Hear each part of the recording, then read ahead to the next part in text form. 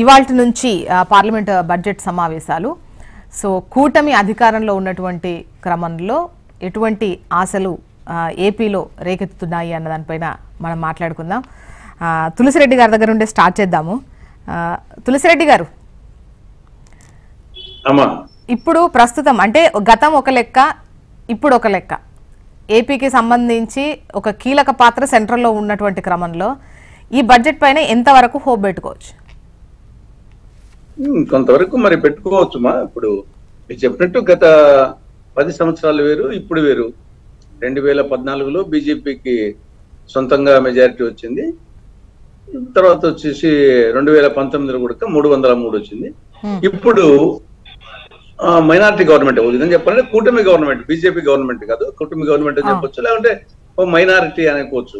కాబట్టి ఇప్పుడు డెఫినెట్గా వచ్చేసి ఆ ఎన్డీఏ కూటమిలో బీజేపీ తర్వాత సెకండ్ హైయెస్ట్ ఉండేది టీడీపీకే. పదహారు మంది లోక్సభ సభ్యులు ఉన్నారు. జేడీయూకి వచ్చేసి పన్నెండు మంది ఉన్నారు. కాబట్టి డెఫినెట్గా వీళ్ళిద్దరికి మీద ఆధార్ టీడీపీ మీద జేడీయూ మీద ఆధారపడి మనుగడ సాగించాల్సిన పరిస్థితి ఉంది కాబట్టి ఇక్కడ సమస్యలు ఉన్నాయి కాబట్టి బహుశా కొంతవరకు వచ్చేసి మొగ్గు వీళ్ళ డిమాండ్స్కు ఈ సమస్యల మీద కొంత ఫోకస్ చేయాల్సి వస్తుంది. ఆ నేపథ్యంలో బడ్జెట్ కానీ ఉండాలా. రెండవది వచ్చేసి ఆ ఇంకొక అంశము మూడు రాష్ట్రాల అసెంబ్లీ ఎన్నికలు జరిగిపోతున్నాయి ఈ సంవత్సరం చివరిలో. మహారాష్ట్ర జార్ఖండ్ అండ్ హర్యానా. జమ్మూ కాశ్మీర్ ఒకవేళ వస్తున్నారు కాబట్టి ఈ అసెంబ్లీ ఎన్నికలను దృష్టిలో పెట్టుకొని ఈ బడ్జెట్ రూపొందించాలి. ఇక్కడ మైనార్టీ గవర్నమెంట్ కాబట్టి టీడీపీని జేడీయూని మిగతా వాళ్ళను దృష్టిలో పెట్టుకోవాలి. తర్వాత ప్రతిపక్షం కూడా గతానికంటే బలమైన ప్రతిపక్షం ఉంది కాబట్టి ఇవన్నిటిని దృష్టిలో పెట్టుకొని ఈ బడ్జెట్ సమావేశాలు బడ్జెట్ రూపొందన బడ్జెట్ రూపకల్పన కానీ బడ్జెట్ సమావేశాలు కానీ ఉండే అవకాశం ఉంటుంది దీంట్లో ఈ బడ్జెట్తో పాటు ఆంధ్రప్రదేశ్కు సంబంధించి సరే ప్రత్యేక హోదా అనేది ఇప్పుడు అది ఓ దిక్కు బీహార్ అడుగుతున్నారు ఓ దిక్కు ఇప్పుడు ఒరిస్సా కూడా చేరింది. ఇది నిన్న కూడా అవును అఖిల పక్షంలో ఆంధ్రప్రదేశ్ బీహార్ ఒడిశాలకు ప్రత్యేక హోదా కావాలని చెప్పేసి ఇటు వైసీపీ మ్మ్. అదే విధంగా బిజు జనతాదళ్ ఇవన్నీ అంటే నిన్న అఖిల పక్షంలో వాళ్ళు కాస్త డిమాండ్ చేశారు. కానీ అది అది అది వర్కౌట్ అయ్యే పరిస్థితి ఉందా? ఇంకా ప్రత్యేక హోదా అన్నటువంటి సిచ్యువేషన్ ఉందా? అదే అదే సమస్య అయిపోతుంది. బీజేపీ ఏమో ఇది ముగిసిన అధ్యాయం అంటుంది. కానీ బీజేపీ మిత్రపక్షాలు వచ్చేసి దిక్కు టీడీపీ కానీ టీడీపీ ఆ ఏమనలేకుంది. జేడీయూనేమో ఓపెన్గా అంటుంది. ఈ పక్క సరే వైకాపా న్యాచురల్గా వాళ్ళు ఉన్నప్పుడు చేయకున్నా కానీ వాళ్ళు ఇష్యూ చేస్తారు. కాబట్టి ప్రత్యేక హోదా అనేదే పెద్ద ప్రధానమైన సమస్య అవుతుంది. దాన్ని వదులుకోలేరు. వదులుకునే ఇష్యూ లేదు అది ఇష్యూ అవుతుంది. బీజేపీ వచ్చేసి ముగిసిన అధ్యాయం అని చెప్పింది. కాబట్టి మరి ప్రత్యేక హోదానే ఆ మెయిన్గా వచ్చేసి బీజేపీ యొక్క ఎన్డీఏ కూటమి మనుగడకు ప్రధానమైన సమస్య రాబో రోజుల్లో ఇదే అయిపోతుంది కావచ్చు. ఇంకా ఇవి కాక మిగతా చట్టంలోని అనేక అంశాలు అట్నే పెండింగ్లో ఉన్నాయి కాబట్టి గత పది సంవత్సరాలుగా గతానికంటే కొంచెం ఇప్పుడు టీడీపీ అడిగే పరిస్థితి ఉంది కాబట్టి కొంత బ్రేక్ చేయొచ్చు. కానీ మొన్న మంత్రివర్గ కూర్పు కాడ చూసినప్పుడు ఆ విధంగా మోడీ గారు ఆలోచించడం లేదు అనిపిస్తుంది. రాజస్థాన్కు ఇరవై ఐదు ఎంపీలు ఉంటే అక్కడ ఐదు మందికి కేబినెట్ ఇచ్చారు. ఆంధ్రప్రదేశ్కు ఇరవై ఐదు మంది ఉంటే ఇక్కడ ముగ్గురికి ఇచ్చారు. కాబట్టి ఆన్నే వచ్చేసి మిగతా గుజరాత్ కూటమిలో ఉన్న పార్టీలు యాక్సెప్టెన్సీ వాళ్ళకు ఉంది కదా. లేదంటే వాళ్ళే గట్టిగా మొండి పట్టు పట్టేవాళ్ళు లేదంటే ఈవెన్ రాష్ట్రంలో ఇచ్చినటువంటి మంత్రి పదవుల్లో కూడా వాళ్ళు కూడా పెద్దగా డిమాండ్ చేసినట్టు అనిపించలేదు. వాళ్ళు వీళ్ళు ఎంత ఇస్తే వాళ్ళు అంత తీసుకున్నారు. అక్కడ వాళ్ళు ఎంత ఇస్తే. వీళ్ళు అంత తీసుకున్నారు.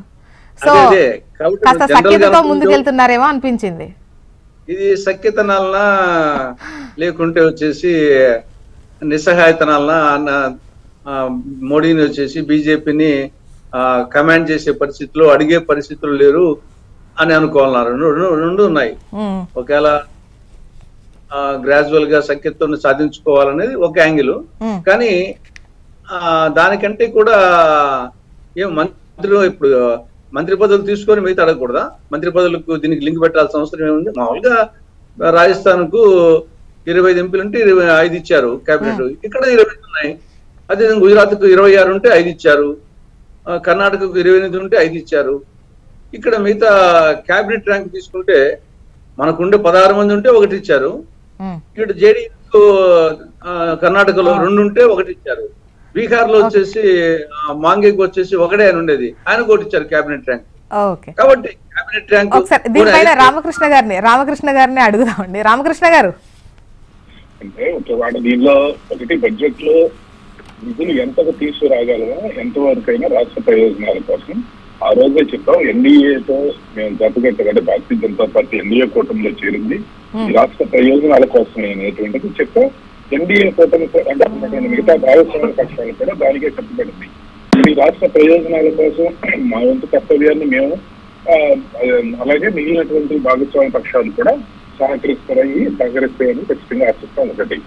రెండు రాజకీయంగా కానీ గత చరిత్ర కానీ మీరు ఒకసారి చూస్తే కేంద్రంలో తెలుగుదేశం పార్టీ వచ్చిన తర్వాతే ఒక గుర్తింపుని ఒక ప్రాముఖ్యతని ఇక్కడ ఉన్నటువంటి నాయకత్వానికి కానీ పార్టీల పార్టీల ప్ర- ప్రాధాన్యత కానీ పెరిగింది. అంటే ఆనాడు అన్న ఎన్టీ రామారావు గారు దగ్గర మొదలు పెడితే ఒక ప్రాంతీయ పార్టీ ఏం చేయగలదు అనుకున్న దగ్గర నుంచి మొదలు పెడితే కేంద్ర కేబినెట్లో ఒక బలహీన వర్గాలకు చెందినటువంటి కేంద్ర బలహీన వర్గాలకు చెందిన ఎర్రనాయుడు గారిని కేబినెట్ మంత్రిని చేశాం అప్పటి దాకా ఒక్క కేబినెట్ మంత్రి కూడా మీరు మీ కాలంలో చూసుకోండి స్త్రీ.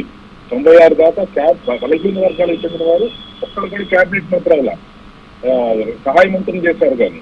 అట్లా అలా చేయగలిగింది పార్టీ. అలాగే అవకాశం ఇచ్చిన బాలయ్య గారిని సేకరణ చేయగలిగారు ఆ విధంగా అప్పుడు ఆనాడు ఎర్రనాయుడు గారు గ్రామీణాభివృద్ధి శాఖ మంత్రిగా ఉండి ఎన్నో నిధులని ఇక్కడ తీసుకురాగలిగా ఈ గ్రామాల్లో చేయగలిగినటువంటి పరిస్థితి. దాని తర్వాత భారతీయ జనతా పార్టీ ఆ రోజు అజిత్ గారి నాయకత్వంలో ఉన్నారు ఆ రోజు నిధులు తీసుకొచ్చి డెవలప్ చేశారు. మరలా పద్నాలుగు పంతొమ్మిది మధ్యలో మేము చాలా సార్లు చెప్పాం మళ్ళీ ఇంకోసారి చెప్తాం వాళ్ళు అభివృద్ధికి సహకరించారు. కానీ మేము ఆశించినంత చేయలేదనే మేము డిఫర్ అయ్యామని చాలా సార్లు చెప్పారు. అంతేగాని వాళ్ళు సహకరించలేదు అనే మాట మేము వాళ్ళకి ఈ కేంద్రం నుంచి రావాల్సినంత నిధులు రావ మేము కోరుకున్నంత మేము ఆశించినంత రాలేదు. ఇది ఇక్కడ పాయింట్ వాళ్ళు రావాల్సినంత ప్రిజెంట్ చేసేందుకు రావాల్సిన దానికంటే ఇంకో పది గంటలు ఎక్కువ ఇచ్చి ఉండొచ్చు. కానీ మేము ఆశించినంత రాలేదని ఆ రోజు మేము డిఫర్ అయ్యాం. అంతేగాని మేము మమ్మల్ని ఏమో ఎన్నికల కుటుంబం నుంచి ఆ రోజు బాడీ గారో లేదా ఇంకొకళ్ళు మీరు వెళ్ళిపోయింది నేను పట్టించలేదు మేమే వచ్చేసాం కానీ ఈ రాష్ట్రం మరీ అధోగతి పాలైపోయి అది అది- అదే అధ్వానం అయిపోయిన స్థితిలో ఇక కేంద్రంలో ఉన్న కేంద్ర ప్రభుత్వం కేంద్రం ఆదుకునే పరిస్థితి ఉంటే తప్పితే ఈ రాష్ట్రానికి వేరే దిక్కు దివాణం లేదండి. ఇది రాష్ట్రం. ఇది అందరికీ తెలిసినటువంటి సత్యం. జీతాలు కూడా ఇవ్వలేని పరిస్థితికి రాష్ట్రం అప్పటికే ఉంటే ఇప్పుడు ఐదేళ్ళు ఐదేళ్ళ పరిస్థితులు చూసిన తర్వాత ఏం లేదు ఇక్కడ. కాబట్టి కేంద్రం దీని ఈ- రోజు వెనకబడిన రాష్ట్రాల జాబితాలో ఇది పెట్టుకోవాల్సిన అవసరం. మిగతా రాష్ట్రాల్లాగా ఈ రోజు ఈ రాష్ట్రం అలా కనపడకపోవచ్చు రాజ్యాంగం ప్రకారం అలా ఉండకపోవచ్చు భౌగోళిక స్వరూపం బయటికి కనపడేటప్పుడు ఇదేదో ఉన్నతమైనటువంటి ప్రదేశంగా చాలా సంపన్నమైన రాష్ట్రంగా బయటికి కనపడవచ్చు కానీ కానీ ఆర్థిక వనరుల లభ్యత అట్టడుగు స్థాయికి వెళ్ళిపోయిన దేశంలోనే ఈ రోజు ఈ రాష్ట్రంలో. కాబట్టి దాని కేంద్రం అర్థం చేసుకుని నిధులు ఖచ్చితంగా సమకూరుస్తుంది అనేటువంటి భావనలోనే దానికోసం అంటే తులసిరెడ్డి గారు మాట్లాడినప్పుడు అంటే మీకు బలం ఉంది సెంట్రల్లో చక్రం తిప్పే అవకాశము ఇప్పుడు ఉంది. కాకపోతే అంత గట్టిగా మీరు పట్టుబట్టేటువంటి అవకాశం కనిపించట్లేదు అని అన్నారు. ఒకవేళ ఇవ్వకపోయినా ఈ రోజు ఆ, ఈ రోజు ఉన్న కాలం కాలంలో వచ్చినటువంటి మార్పులు మనం మనం మనం మా పని ఏంటంటే మీరు చెప్పండి. అంటే మేము బాధ్యతగా తీసుకొచ్చి రాష్ట్రాన్ని అభివృద్ధి చేస్తే కదా మిమ్మల్ని మీరు మంచి అంటారు. మేము చేయాల్సినటువంటి బాధ్యత మా మీద ఉంటుంది కదా. డిమాండ్ చేయకపోవడానికి మేమేమి కమెంట్ చేయకపోవడానికి మా మీద ఏమి కేసులు లేవు కదా. మేమేం భయపడాల్సిన అవసరం లేదు కదా. న్యాయంగా పెట్టినటువంటి జగన్మోహన్ రెడ్డి పెట్టిన కేసులు మేమేమి కేంద్రం లేదంటే ఇంకోటి ఇంకోటి కేసుల్లో లేదంటే మేమే ఏ, ల్యాండ్ రింగ్లో ఇంకోటి ఇంకోటి చేసినటువంటి లేదు కదా. అంటే ఎందుకు చెప్తున్నా అంటే రాష్ట్ర ప్రయోజనాలు ప్లస్ మేము ఎన్డీఏ ఉన్నాం ఎన్డీఏ భాగస్వామ్య పక్షాలుగా భారతీయ జనతా పార్టీ జనసేన కూడా ఈ రాష్ట్ర అభివృద్ధిని ఆకాంక్షిస్తా ఉన్నాయి. కాబట్టి ఇక్కడ ఎక్కడొక్కడ వేరియేషన్ లేదు డిఫరెన్స్ లేదు. మీరు ఖచ్చితంగా అంటే నిధుల లభ్యతగా ఇక్కడ లేదు పైపెచ్చు కాబట్టి మేము మేమేమి అక్కడ ఉన్న డిమాండ్ చేయలేకపోవడానికో లేదంటే మేము కమెంట్ చేయలేక కమెంట్ చేయలేకపోవచ్చు. డిమాండ్ చేయటం వేరు కమెంట్ చేయటం వేరు ఖచ్చితంగా మేము మేము ఖచ్చితంగా మొత్తం ఈ రాష్ట్రానికి రావాల్సిన ప్రతిదానికే కాకుండా అదనంగా వాటి కోసం మేము శ్రమిస్తామని ఇందాక చెప్పాను. గతంలో కూడా మేము డిఫర్ అయింది అక్కడేనని. కాబట్టి ఈ- అయితే ఇప్పుడు ఎన్డీఏ కూటమి కూడా మాతో భాగస్వామ్య పక్షంగా ఉన్న సందర్భంగా కొంత కొంత ప్రభుత్వంలో కూడా చేరే అవకాశం వచ్చిన సందర్భంగా మరింత మనకి ఈ రాష్ట్ర ప్రయోజనాల గురించి మాట్లాడేటువంటి హక్కు ఎందుకంటే గదిలో ఉన్నదానికి బయట ఉన్నదానికి మధ్యలో తేడా ఉంటుంది ఎలా అయినా. సరే మనం మనం ఇందులో మన క్యాబినెట్లో. ఉన్నప్పుడు కొన్ని అంశాల మీద చర్చించడానికి మన అభిప్రాయాలు వ్యక్తీకరించడానికి లేదా మనకు కావాల్సింది చెప్పడానికి అర్హత ఉంటుంది కాబట్టి అది సహజంగా ఉండేది. నేను ఎమ్మెల్యే అనుకోండి కానీ అసెంబ్లీకి వెళ్తే నేను కొన్ని మాట్లాడగలుగుతాను. నాకు అవకాశం వచ్చినట్టు. అది బయట నుంచి మాట్లాడినప్పుడు ఉండేటువంటి దానికంటే ఎక్కువ విలువ ఉంటుంది. అది ఈ రోజు మరింత విలువ ఉంది కాబట్టి. తిరుపతిరావు గారి వారు. తిరుపతిరావు గారు ఇప్పుడు భాగస్వామ్య పక్షాలతో అంటే కూటమి ప్రభుత్వం అధికారంలో ఉంది. వీళ్ళ ఆశలు నెరవేర్చడంతో పాటు అటు ఇండి కూటమి కూడా కాస్త బలంగా ఉంది. సో గతంలో కన్నా కూడా ఇప్పుడు వీళ్ళకి తీర్చాల్సినవి ఒకటైతే అందరికీ సమ ప్రాధాన్యత ఇవ్వాల్సినటువంటి గతంతో పోలిస్తే ఈసారి కాస్త టాస్క్ బలంగానే ఉన్నట్టుంది మీ ముందు. ఇప్పుడు ఖచ్చితంగా ఇక్కడ రెండు ఒరిస్సా విషయం వరకు తీసుకున్నట్లయితే ఒరిస్సాలో మా గవర్నమెంట్ ఉందండి. ఆంధ్రప్రదేశ్ బీహార్కు సంబంధించి మరి ఉన్నటువంటి అంశాల్లో ఫస్ట్ ఇది బీహారే ప్రస్తావించింది. ప్రస్తావించేటప్పుడు ఏదైతే ఆంధ్రప్రదేశ్ సంబంధించి ప్రత్యేక ప్యాకేజీకి సంబంధించినటువంటి ఒక ఏదో ఎడ్జ్ ఉందో అది కూడా వారు ప్రస్తావించారు. ప్రత్యేక హోదా లేదా ప్రత్యేక ప్యాకేజీ అనేది ప్రస్తావించడం కూడా వారు కూడా చేశారు. ఆ నేపథ్యంలో అది పెద్ద పెద్ద టాస్క్ అవుతుంది కేంద్ర ప్రభుత్వానికి అని చెప్పేసి మేమైతే భావించట్లా. ఆంధ్రప్రదేశ్కి సంబంధించి కూడా అందరం ఆశించేది అదే. ఇక్కడ ఇక్కడ ఇప్పుడు నిజంగా చెప్పాలనేసి అంటే ఓ, వెనకబడిన జిల్లాల ప్యాకేజ్ వచ్చింది అనుకోండి అక్కడ తులసిరెడ్డి గారు ఉన్నటువంటి రాయలసీమ ఇటువైపు తిరుపతిరావు ఉన్నటువంటి ఉత్తరాంధ్రకి బెనిఫిట్ అవుతుంది. మా గొడ్డిపేట రామకృష్ణ గారికి దానికి సంబంధించి ఏం బెనిఫిట్స్ ఉండవు. అంటే ఉదాహరణ చెప్తున్నా. ఇట్లాంటివి కొన్ని కావాలని అయితే కోరుకుంటున్నారు. అందరూ అది ఖచ్చితంగా కేంద్ర ప్రభుత్వం కూడా నెరవేరుస్తుంది. ఉమ్, ఇప్పుడు కూడా గారు ఒక మాట మంచి మాట చెప్పారు. పూర్తిగా ఇవ్వలేదని చెప్పేసి మేము వాళ్ళు డిఫర్ అవ్వలేదు. కాకపోతే ఇంకా కొంత ఇవ్వాల్సింది ఉంది అని చెప్పేసి డిఫర్ అయ్యామని ఎస్ డెఫినెట్గా. అది ఆమోదించి తగ్గినటువంటి అంశం కదా.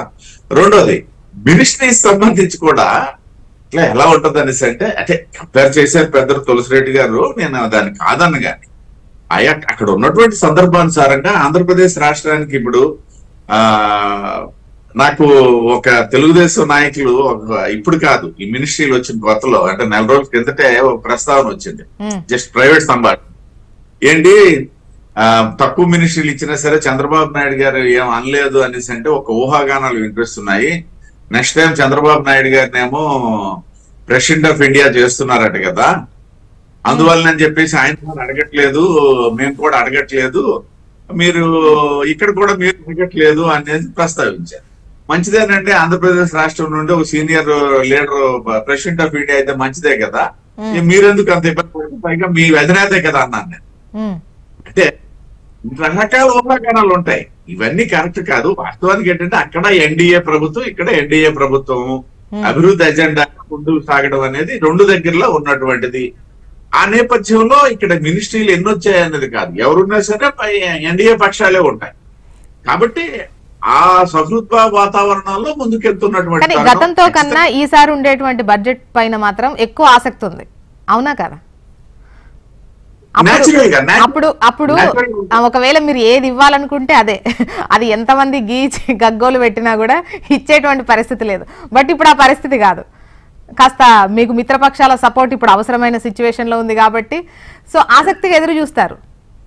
కాదు కాదు. ఇక్కడ ఒక విషయం అండి. గగ్గోలు పెట్టినా గీచినా అని ఇచ్చేది ఇందాక రామకృష్ణ గారు మంచి మాట్లాడారు ఏమి అక్కడ నరేంద్ర మోడీ గారి జేబులో తీయడానికి ఆయన దగ్గర ఏమీ లేదు. లేకపోతే చంద్రబాబు నాయుడు గారి జేబులో తీసుకొని ఇవ్వడానికి ఉండదు కదా. ప్రజాధనము దాని డిస్ట్రిబ్యూషన్ అంతే ఒక రాష్ట్రానికి ఆ రాష్ట్రంలో ఉన్న అవసరాల దృష్ట్యా కేంద్ర ప్రభుత్వం అక్కడ ఉన్నటువంటి ప్రభుత్వం తాలూకా ఆ, ఆలోచన దృష్ట్యా ప్రభుత్వం తాలూకా ప్రయారిటీస్ కొన్ని ఉంటాయి డెఫినెట్గా. ఇప్పుడు ఆ ప్రయారిటీస్లో కాస్త ఆంధ్రప్రదేశ్ రాష్ట్రము లేదా బీహార్ రాష్ట్రం లేదా ఒరిస్సా రాష్ట్రం కాస్త ప్రయారిటీగా ఉంటుందే తప్పిస్తే Hmm. ఎక్కడో తెచ్చే జేబులో తీసి ఇచ్చేసేది కాదు కదా. సో ఈ ప్రాధాన్యత క్రమంలో ఏపీ ఉండాలని ఏపీ ప్రజల ఆకాంక్ష. నేను కూడా అందులో ఉన్నాను. ఎందుకంటే నేను ఉత్తరాంధ్రలో ఉన్నా అదే చెప్పాను. నేను ఉత్తరాంధ్రలో ఉన్నాను. అందరికంటే ఆకలి మంటలు ఎక్కువ ఉన్నటువంటి ప్రాంతం శ్రీకాకుళంలో ఉన్నాను నేను. మాకు one third of the people ఎప్పుడు బయట బయట బతుకుతున్నటువంటి జిల్లా మాది. కాబట్టి నేను కూడా చూద్దామండి. పెద్ద ఎత్తున చర్చ అయితే జరుగుతోంది. ఏపీ అదేవిధంగా బీహార్కు సంబంధించి రాష్ట్రాలకు చేయూతనిచ్చేటువంటి వరాలు ఉండబోతున్నాయి. మౌలిక సదుపాయాలకు సంబంధించి పెద్ద ఎత్తున నిధులు కేటాయించేటువంటి అవకాశం ఉంటుంది అన్న చర్చ అయితే నడుస్తోంది. చూద్దాం ఏం జరుగుతుందో. బడ్జెట్ ఒకసారి ప్రతిపాదించిన తర్వాత దేనికి ఎంత కేటాయించారు ఎవరికి ఏమి ఇచ్చారు అనేది ఒకటి మనకు కూడా క్లారిటీ వస్తుంది. ఆ తర్వాత మళ్ళీ మనం మాట్లాడుకుందాం. థ్యాంక్ యూ సో మచ్ అండి. డిస్కషన్లో పార్టిసిపేట్ చేసినందుకు తులసిరెడ్డి గారు తిరుపతిరావు గారు రామకృష్ణ గారు. థ్యాంక్ యూ అండి. ఇది వాళ్ళ న్యూస్ అనాలిసిస్. చూస్తూనే ఉండండి హెచ్ఎం టీవీ. వార్త ఆగదు నిజం దాగదు.